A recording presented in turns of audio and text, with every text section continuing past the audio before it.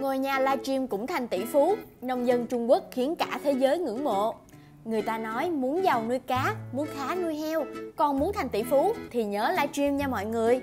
Trồng cây chăn bò 10 năm cũng không bằng một ngày ngồi livestream bán nông sản.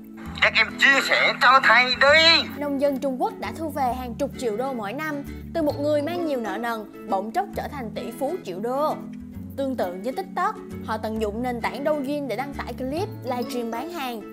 Những người xem clip của họ được tận mắt nhìn thấy sự tươi ngon của các loại cây trái, kích thích người xem mua hàng ngay lập tức. Chỉ với một chiếc điện thoại được kết nối internet là đủ cho một người nông dân từ trẻ đến già, không phân biệt độ tuổi thỏa sức tung hoành, từ nông sản đến thủy hải sản, tất cả đều được rao bán, bán tất tần tật. Điều này tạo ra một làn sóng di cư ngược ở Trung Quốc. Rất nhiều người bỏ phố về quê tập làm nông dân trong giai đoạn dịch bệnh khó khăn, mở ra con đường trở thành doanh nhân với chi phí thấp, không còn lo lắng đầu ra hay bị ép giá, giá bán ngoài ruộng khác xa giá bán người tiêu dùng. Bạn nghĩ sao nếu nông dân ở Việt Nam cũng tiếp cận với công nghệ bán hàng qua livestream? Hãy để lại bình luận của bạn cho hai nông biết nhé!